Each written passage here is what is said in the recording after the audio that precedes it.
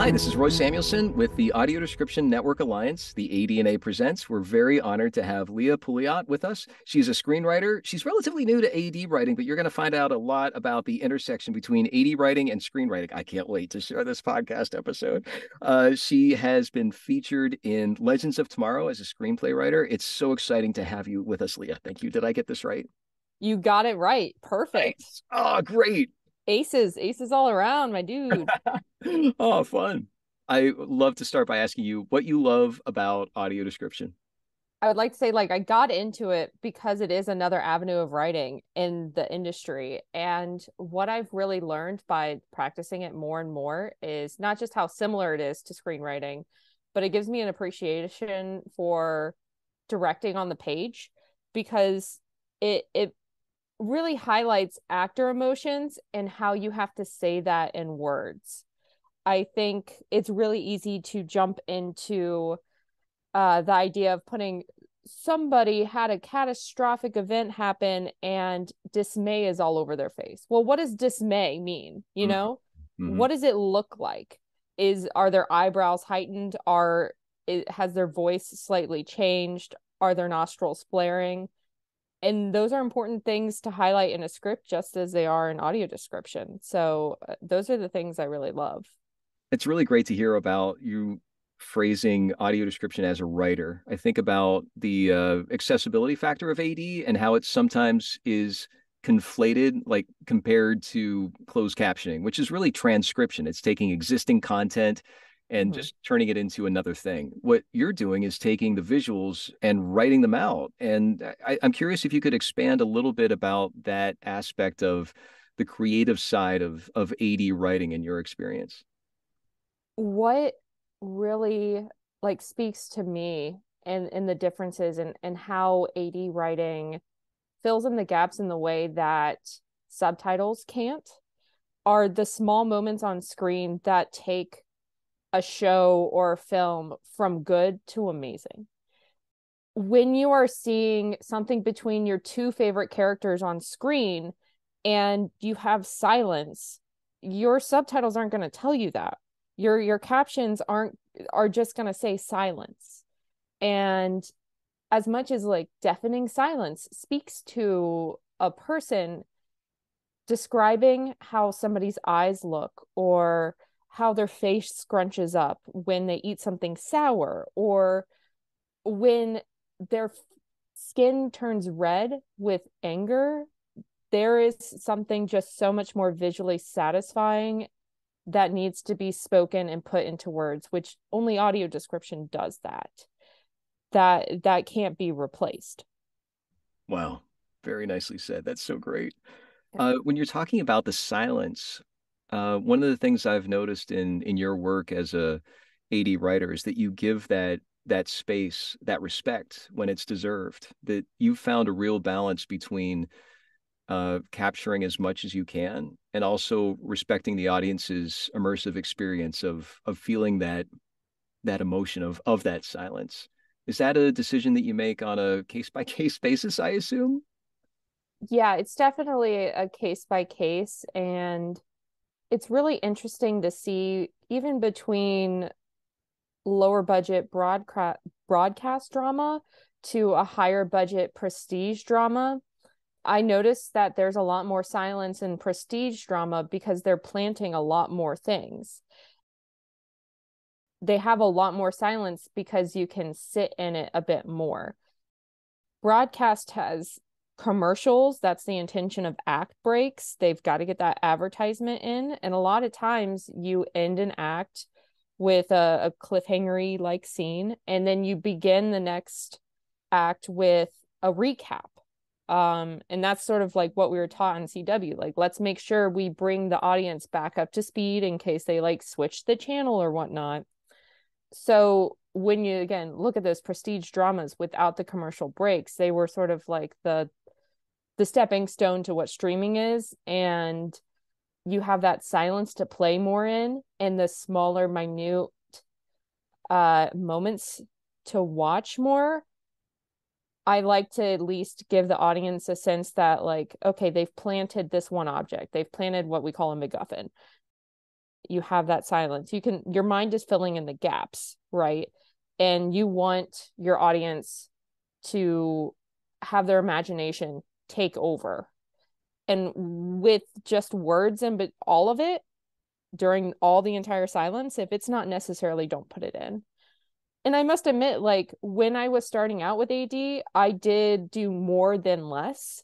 And i'm still learning. I think everybody is still learning right? It's why shows will get like better with age or or like tv has turned into the golden era because we're just getting better and better at storytelling and and knowing how to speak per what streamers or channels or what we're watching. And I, I appreciate silence the longer i do it because i'm like no this is important. That's the it probably said beat on the page so that we could sit in it for a minute. I can hear the influence that your screenplay writing has had on ad writing. Do you think the opposite is true? Yes. I i still work on a lot of my own stuff although i'm in between staffing positions writer life is filled with a lot of free work. I, I think that's just like the creative endeavor we all take. It is the opposite from working to live to living to work. When you're a creative, you are definitely living to work, uh, and you wanted to find happiness in your career and your life. Uh, and because of that, so I'm always working on my own stuff. I'm not trying to have an actor read it and mimic exactly what I'm saying, but I know a better way of displaying it now on the page than just using a few adjectives. What a neat! Yeah. That's I, we haven't uh, interviewed someone in, of your of your skill set before. This so this is really great to hear the your experience with this. Um, yeah. Are there differences that are pretty surprising between uh between the two different types of writing? Anything that that strikes you as uh, maybe something that our audience would would appreciate knowing? I think the audience will find fascinating, though it's a little different from AD writing specifically. I've learned more to see how a scene starts and a scene ends. And some of the shows, I'm like, oh, a lot of times this ends with people walking away. It starts with a confrontation, somebody wins the confrontation, the other person walks away and it's given me a little more insight on directing and how how people move through a scene. And just being able to describe that in audio description i'm like oh now i'm really paying attention to the ins and outs and the pacing of a scene.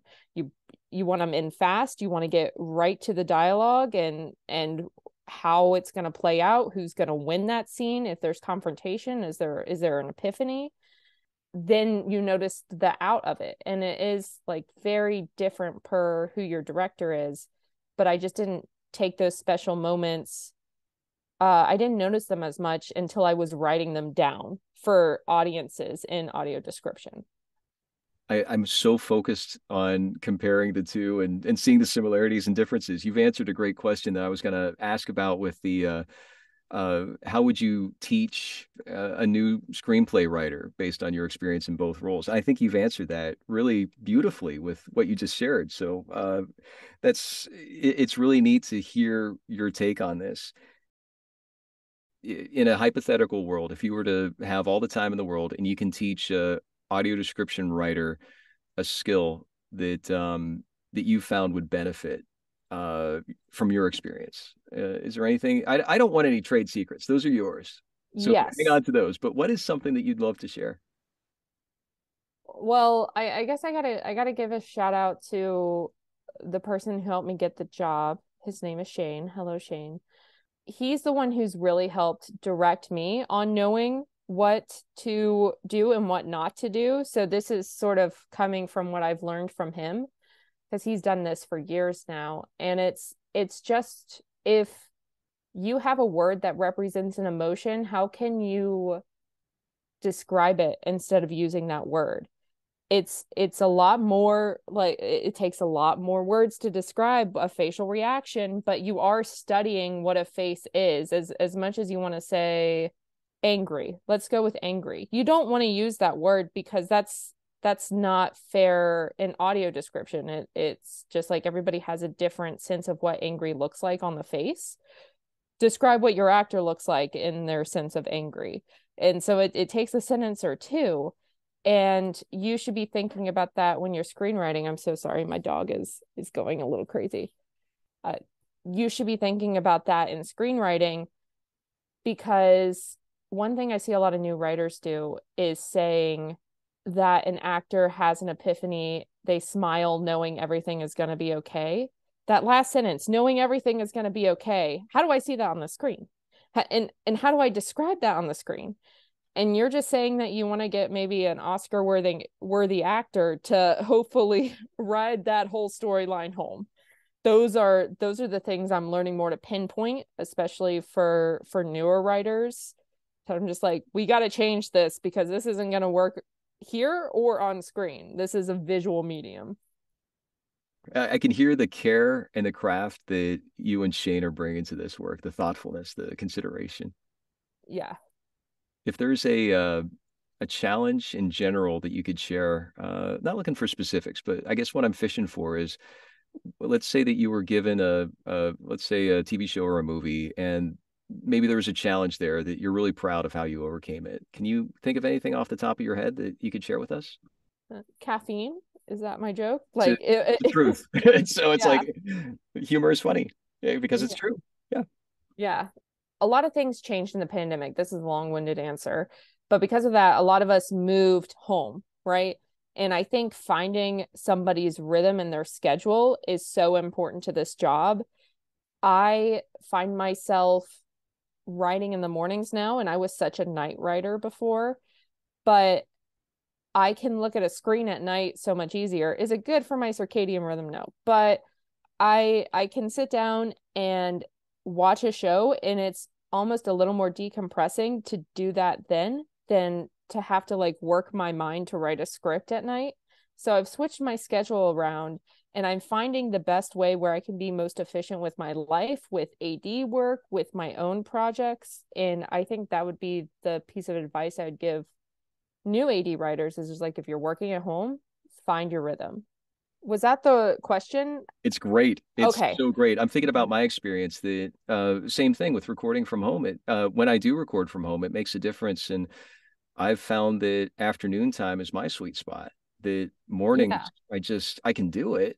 Evenings, I can do it. But if I have a choice, Oh, wow. And it's it's funny that you bring that up. I'd never thought about process in in that, you know, obviously different aspects I'm voicing and you're writing, but there's something about really paying attention to what your you know, I guess it's your body's telling you, right? Yeah, because I was fighting myself in the beginning being like, "No, night is my time to write. That is what I've always done. Like that's what I got to continue to do." And then a couple of weeks ago, you're just like, "No, let me let me try to shake it up. Let me flip them." let me see if this works better.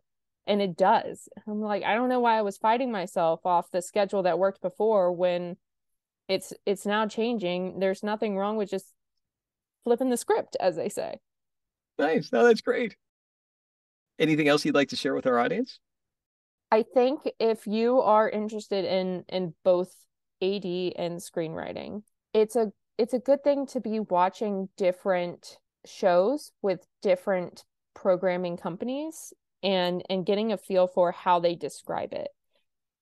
Because i i don't know all the other companies that that work with it but we have some clients while i'm sure other big streamers have different clients and everybody has a similar book but not the same book so I find it really interesting if I'm watching like a sci-fi fantasy show and I'm seeing what they're concentrating on describing and everything that is important to say on screen while our method is just making sure that the important story beats come out and we're not having to fill the entire silence with words.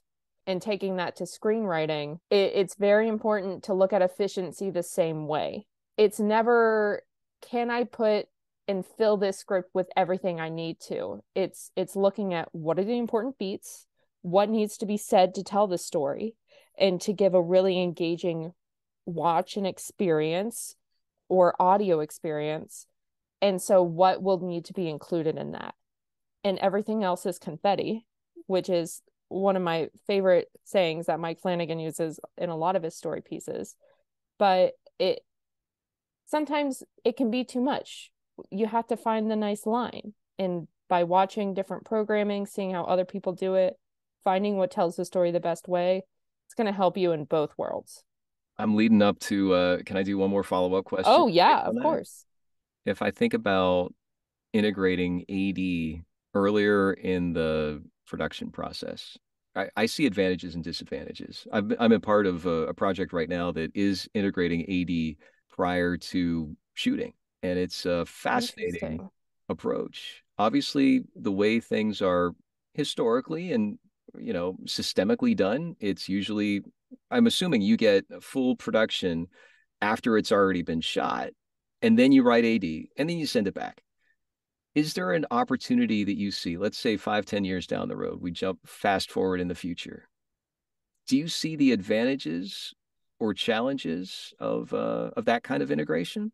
I see both. I I think in a perfect production schedule that is a well-oiled machine, uh, maybe doing some AD before the the production during the screenwriting process. That would be a dream. I think you would also get the writer's intention if if they see something on the page and they're like I want to make sure this comes across for all of my viewers. They're going to be the ones that that should be writing it or highlighting it or bolding it in a script. However, I knowing that production is a messy process and a lot of times you have that golden saying fix it in post which is not a great motto to live by because I I started in post and I I have a lot of friends in post so I know how how much heavy lifting they have to do if if a story isn't coming through they're the ones who have to make the story. Uh and thinking about like if AD was done before all of that would have just gone to waste because the whole thing had to change later? Because production it didn't end up happening the way that they had envisioned it to happen.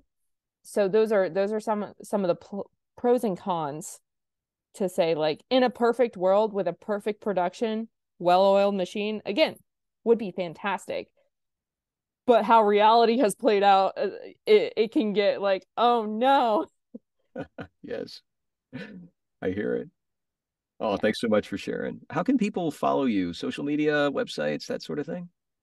Yeah, uh, I'm on Twitter. I am at Leah underscore lame. Um, that is a a name I came up in middle school and somehow stuck around with it. If that ages me. And I have a website. It's it's leahpoulliot.com, though it's really just mm, a writer's resume kind of website. So you're not gonna find much much craziness on there but yeah, those are my my two quick plugs. Thanks so much for joining us, Leah. It's great to have you. Thank you.